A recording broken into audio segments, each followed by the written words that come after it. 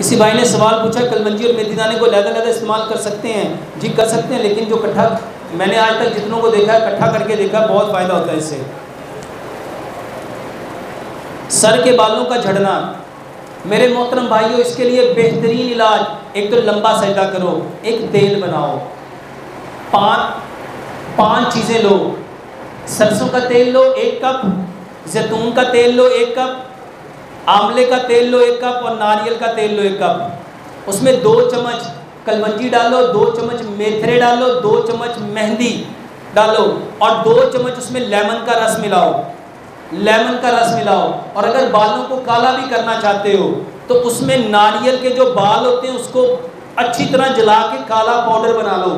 उसके दो बड़े चम्मच वो डालो। इसको इतना पकाओ इतना पकाओ इतना पकाओ मट्टी के बर्तन में कि सारी चीज़ें यकजान हो जाएँ। इसको छान के, इसको बालों में तेल की तरह लगाओ। मेरे मोहतरम भाइयों, बालों के अंदर जो सिकरी है, खुशकी है, बाल झड़ते हैं, जुएँ पड़ती हैं, बेहतरीन इलाज है। और इसके साथ दो दाने आमले के सुबह, दो दोपहर, दो शाम, ये खाओ, ये आपके सर के बालों का बेहतरीन इलाज है।